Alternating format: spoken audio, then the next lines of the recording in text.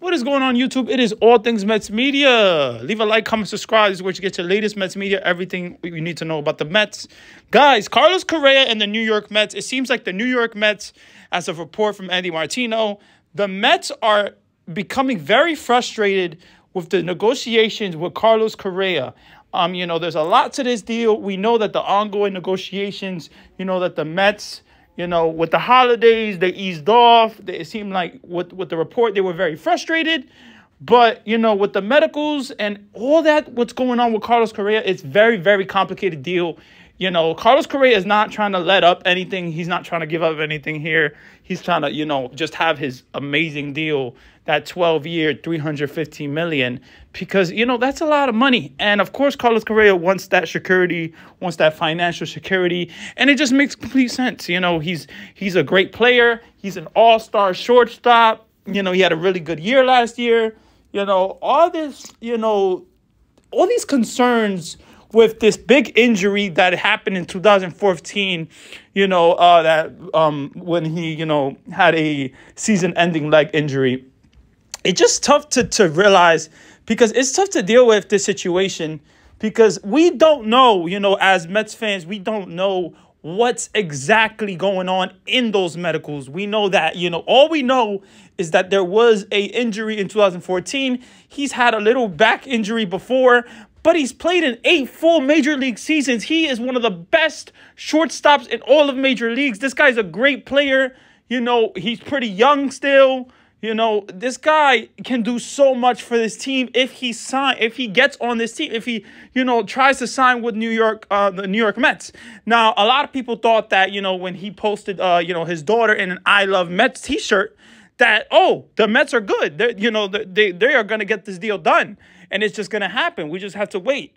You know, but man, this is a very complicated issue. It seems like the Twins are now back in, you know, um in in it for uh Carlos Correa. And the Twins, they have been very they've been trying to get Carlos Correa back all offseason. You know, but you know, the thing about the Mets is Steve Cohen has money. The Mets have money. So Steve Cohen if he wants to get a guy, he's going to get a guy. If money is the problem, he's going to make it a solution. He he's definitely going to get his guy. But there's a lot going on. The Mets are becoming frustrated and they're thinking about backing out of the deal. And listen, at the end of the day, the Mets will be a better team with Carlos Correa. At the end of the day, they will. But, you know, without Carlos Correa, you know, they still have Brett Baty. They still have Eduardo Escobar. They still got, you know, they still got a good offense, you know, but nothing it all depends on, you know, those new guys. Uh Francisco Alvarez, Brett Baty, what they do in the 2023 season for the New York Mets. That's really what depends on the situation. So, guys, let me know what you guys think about the Mets in this situation. Do you guys want Correa to sign? Do you guys feel like Correa has to sign with the New York Mets? Do you think that signing of Carlos Correa gets the Mets, you know, to the next level? I personally think with a Carlos Correa on this team, this team would just be way better than you know last year. I, offensively, because I know the type of player that Carlos Correa is. I know what he brings to the table. He brings power. He brings defense. He brings speed. Carlos Correa is a great player. Okay, all this, all these uh, concerns uh, with this big injury. Look, I get it. It's a long term contract. I understand. I completely get it's a long term contract. You have to. It, first of all, when you think about a long term contract, 12 year contract, a lot goes into it, guys. It's not just a, you know, five year, six year contract. This is a 12 year contract. This is a lot of years. So you really got to really think about the situation with the New York Mets. Is this right for the New York Mets? Is this wrong for the New York Mets?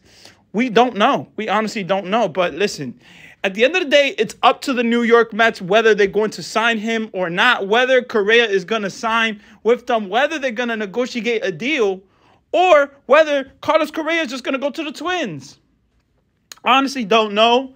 But I think that Carlos Correa is an amazing player, and it will be it will be amazing to have Carlos Correa on the New York Mets. This is a very complicated thing. I'll keep you guys updated. I'll let you guys know what's going on. I love you guys so much. There's been All Things Mets Media, where you get your latest Mets media, everything you need to know about the Mets. You guys are awesome. Appreciate you guys so much. Let's get to 600 subscribers. Baby, let's go Mets. Stay blessed.